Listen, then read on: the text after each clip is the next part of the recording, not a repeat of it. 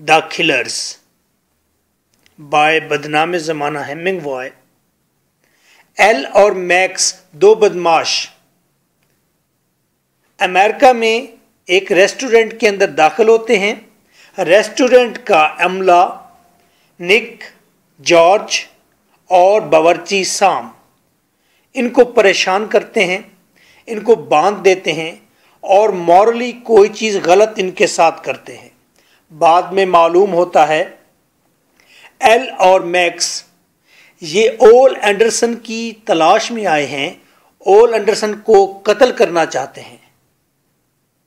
نک دوڑ کر جاتا ہے، اول اینڈرسن کو تلاش کرتا ہے۔ اول اینڈرسن خالی دیوار کو دیکھ رہا ہے اپنے کمرے میں بستر پر دراز ہے۔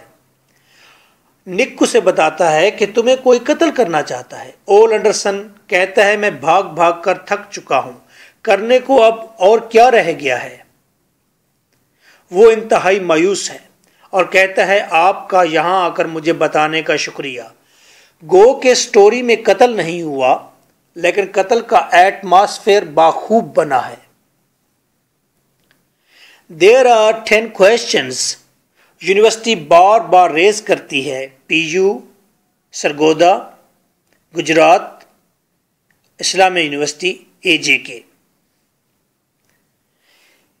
یہ ٹین کوشچنس ایک ہی آنسر سے ہم سالو کریں گے. کوشچنس اس کا نام کوشچن نمبر ون ہے. There isn't anything I can do about it Ole Andersen said اب کرنے کے لیے کچھ بھی نہیں ہے اول انڈرسن نے کہا. ڈسکس ڈسکس کریں. 2015 P U he looked at the wall اس نے دیوار کی طرف دیکھا. Thanks for coming to tell me about it آپ کا بہت شکریہ مجھے یہاں آ کر بتانے کا discuss Sargodha university 2013 what does Ole Andersen read on the wall Ole Andersen دیوار پر کیا پڑھ رہا تھا؟ الابریٹ اس کی وضاحت کریں. Gujrat Islamia university 2011 what is the theme of the story the killers by Hemingway Hemingway کی اسٹوری کا تھیم لکھیے. یا سوال آتا ہے what was the reaction of Ole Andreson Ole Andreson کا ریئیکشن کیا تھا؟ P U 2016 write down the character sketch of Ole Andreson Ole Andersen کا کریکٹر اسکیچ لکھیے اسلامیہ یونیورسٹی سرگودا یونیورسٹی 2012 ان تمام کوشچنس کا ایک ہی آنسر ہے for this you can WhatsApp me zero triple three four six double five three O five answer. Audio lectures بھی complete آپ حاصل کر سکتے ہیں اور نوٹس بھی۔ It is an appalling story یہ ایک ڈراؤنی کہانی ہے۔ That tells us about two mysterious hired head hunters جو ہمیں دو پر اسرار کرائے کے قاتلوں کے بارے میں بتاتی ہے۔ وہ کون ہے قاتل؟ ایل اور میکس ایل اور Max who want to hunt a fellow یہ ایل اور میکس یہ ایک آدمی کو شکار کرنا چاہتے ہیں۔ کون ہے وہ بلا heavy weight boxer Ole Anderson. وہ ایک ہیوی ویٹ باکسر ہے اول انڈرسن۔ کیوں قتل کرنا چاہتے ہیں؟ To please a friend of theirs اپنے کسی دوست کو خوش کرنے کے لیے۔ ایل اور میکس اپنے کسی دوست کو خوش کرنے کے لیے اول انڈرسن کو قتل کرنا چاہتے ہیں اور یہ کرائے کے قاتل ہیں اور یہ پرسرار ہیں۔ They search for their prey at Henry's lunch room وہ اپنے شکار کو تلاش کرتے ہیں ہینری لنچ روم میں۔ Somewhere in America America میں کسی جگہ پر۔ ون ایوننگ ایک شام کو۔ بٹ وہ ڈیجیکٹڈ لیکن مایوس ہوتے ہیں۔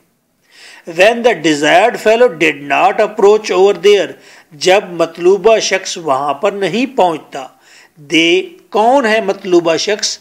Ole Andersen they left this mysterious place وہ اس پر اسرار جگہ کو چھوڑ دیتے ہیں ریسٹورنٹ کو چھوڑ دیتے ہیں۔ اس کا نام ہینری لنچ روم ہے۔ لیونگ بیہائنڈ لیکن اپنے پیچھے چھوڑ دیتے ہیں۔ لومنگ شیڈوز دھندلے سائے، کس چیز کی؟ Of moral corruption. Moral corruption کے یعنی کہ مورلی کچھ غلط ہوا ہے۔ نک اور سام کے ساتھ ایل نے سیکس کیا ہے۔ اور پیچھے ڈیتھ کے سائے چھوڑ دیتے ہیں۔ موت کے سائے، کسی کا قتل کرنے کو آیا تھا۔ وین اول انڈرسن واز وزٹڈ بائی نک جب اول Anderson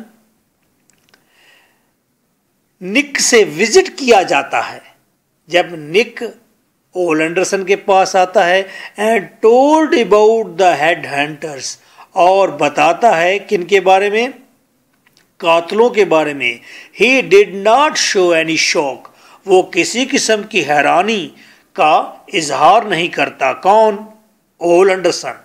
The sadness was at his centre اداسی اس کے درمیان میں تھی، اس کے سینٹر میں تھی۔ کس کے؟ اول انڈرسن کے۔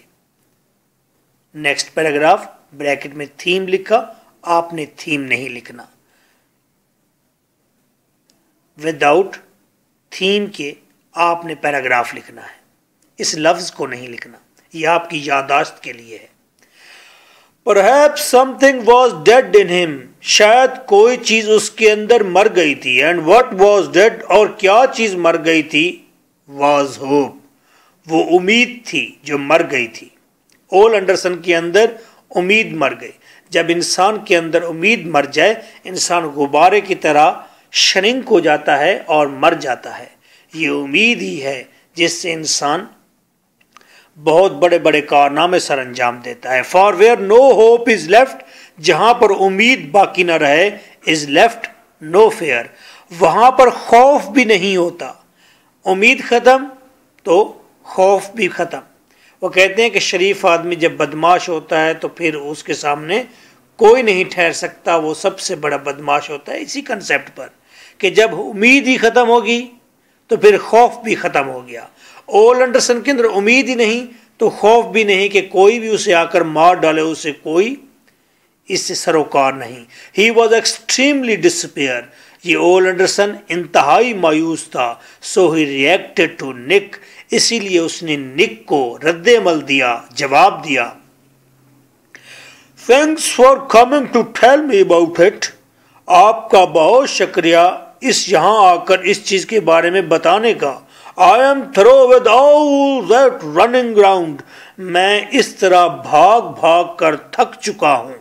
اینڈ اور کیا کہا؟ اسی طرح انورٹڈ کاماز آپ نے لگانے ہیں۔ دیر اینٹ اسے پڑھتے ہیں اینٹ اس کا مطلب ہے آر ناٹ آپ نے بریکٹ والا لفظ نہیں لکھنا۔ There ain't anything to do now کرنے کے لیے اب کچھ بھی نہیں ہے۔ He was watching toward blank wall وہ خالی دیوار کی طرف دیکھ رہا تھا which is the notion of his hopeless mind جو اس کی نا امید ذہن کا اشارہ تھا. یعنی کہ یہ اشارہ دیتی ہے بات، یہ بات انڈیکیٹ کرتی ہے. کون سی بات؟ جب اول انڈرسن خالی دیوار پر دیکھ رہا ہے، تو سمبلائز کرتی ہے یہ بات نوشن دیتی ہے، اشارہ دیتی ہے کہ اول انڈرسن کا دماغ بھی خالی تھا، وہ کچھ نہیں سوچ رہا تھا، وہ نا امید تھا۔ سنائی سفیر۔